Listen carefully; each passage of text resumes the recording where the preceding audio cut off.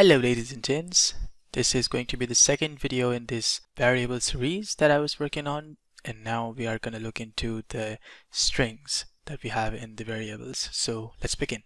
Alright, so in front of us we have three different screens in three different languages.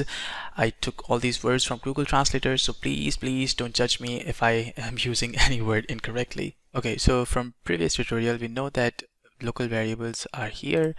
When I click here, I can see all the variables that I created in the previous video that are colors. And if you want to change the name of the um, collection, you can just, you know, press here and change the collection. But now I need to create a new collection. So I'm going to press on create collection. I'm going to name it um, words for now. And uh, I'm going to create a variable. And this time I'm going to go with string.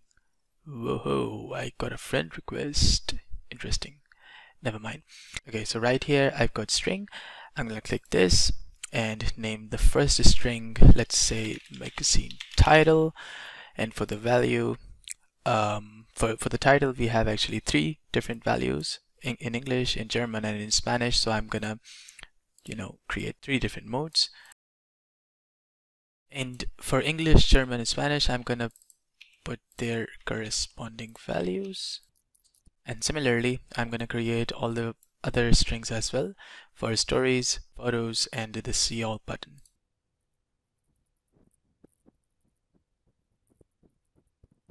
Okay, so now you can see we have four different strings and for all of these strings we have words in three different languages English German and Spanish.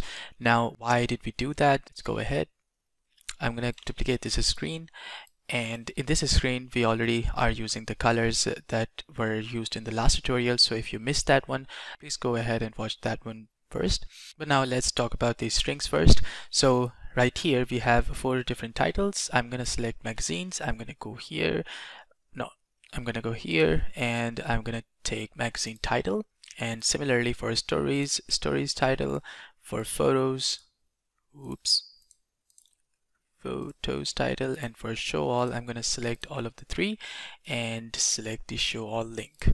So now if we if we want to uh, convert this whole screen into German all I gotta do is select this screen go right here and for words I'll just select German.